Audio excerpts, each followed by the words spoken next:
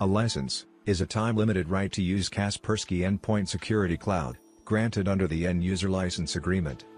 The following license types are provided, Trial License, free license intended for trying out Kaspersky Endpoint Security Cloud. A trial license usually has a short term. Commercial license, paid license granted upon purchase of Kaspersky Endpoint Security Cloud. You can purchase a commercial license on the Kaspersky Lab website or from a partner company of Kaspersky Lab. When a commercial license expires, you must purchase another license. Subscription, paid license granted upon purchase of Kaspersky Endpoint Security Cloud. You can purchase a subscription only from a partner company of Kaspersky Lab. A subscription can be automatically renewed. In this case, you get continuous protection of your devices. You can also opt out of a subscription. If a partner company of Kaspersky Lab provides this option, you can suspend and resume a subscription. Both commercial and subscription licenses can have a grace period.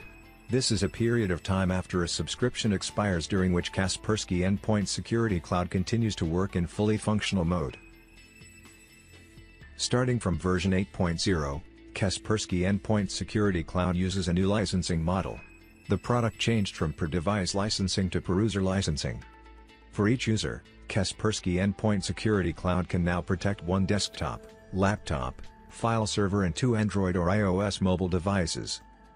A user considered as a licensing unit is not the same as a user added to the management console. An actual user can own more than the above-mentioned number of devices, or, there can be devices without assigned owners. In either case, these devices will be protected. The number of users of a license depends on the number of protected devices, and the number of users is calculated as the larger value between the total number of desktops, laptops, file servers and half of the total number of Android or iOS mobile devices. The maximum number of nodes that can be protected by a Kaspersky Endpoint Security Cloud license is 999. Technically, the 999 node limit means that Kaspersky Endpoint Security Cloud Server does not permit connecting more than 999 devices to a workspace. Monthly subscription is available for MSPs and customers with limited budget. A license can either be time limited, for example, 1, 2 or 3 years, or subscription. The available license type depends on the reseller and region. Kaspersky Endpoint Security Cloud is different from KESPI. A Kaspersky Endpoint Security Cloud license is not related to KESPI licenses in any way. Kaspersky Endpoint Security Cloud uses only activation codes, it does not technically support key files, unlike KESPI.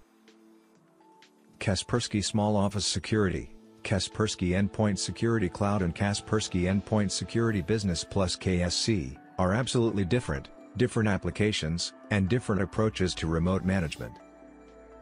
Kaspersky Endpoint Security Cloud Server and Kaspersky Security Center are also widely different. Kaspersky Endpoint Security Cloud requires only registering with the cloud, while Kaspersky Security Center presumes that the customer deploys the Kaspersky Security Center administration server.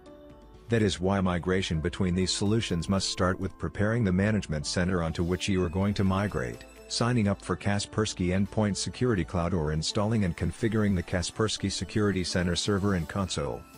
You can export settings from the local interface of Kaspersky Endpoint Security for Windows, which then can be imported to the Kaspersky Security Center policy. The network agent in Kaspersky Endpoint Security Cloud is not the same as the Kaspersky Security Center network agent and must be reinstalled. However, Kaspersky Endpoint Security for Windows is the same. If necessary, you can preserve it. Migrating macOS computers is the same as Windows ones, only that you cannot export settings from the local interface.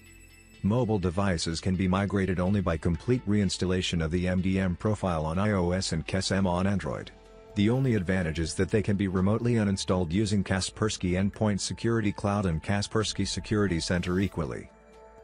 Next part describes Kaspersky Endpoint Security Cloud from the viewpoint of a person who deploys Kaspersky Endpoint Security Cloud at a company. In our demonstration scenario we use the UFA.pet company. There are about 10 computers Windows and Mac OS, mobile devices including smartphones and tablets, which are not joined into a single network.